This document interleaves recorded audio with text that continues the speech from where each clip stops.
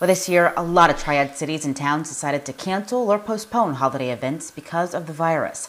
The WXII 12's Meredith Stutz shares the story of one Triad law enforcement group that adapted to save a Christmas tradition. In a year where it's easy to pout and it is easy to cry, the High Point Police Department decided that Santa Claus can still come to town. Santa!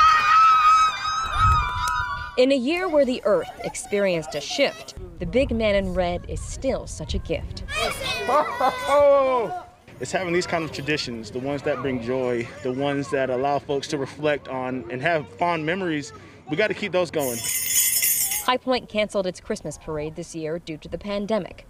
The police department decided to keep the tradition of Santa going by bringing him to their streets. A chance to smile, a chance to meet. Thanks for coming today. Okay, Merry Christmas. The Blue Line Express carried him to six different spots. By their look of wonder, you could tell the kids of all ages liked it a lot. We were ecstatic and over the moon because we knew that our kids would love it. Santa has a dog too.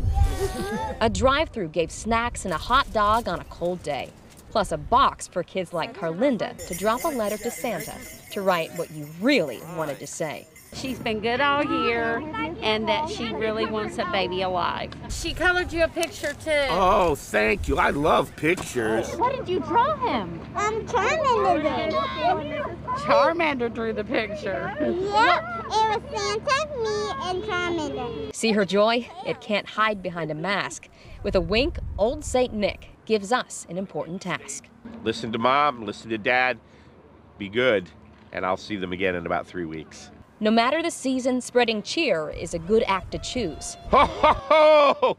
Merry Christmas! Reporting in High Point, Meredith Stutz, WXII 12 News.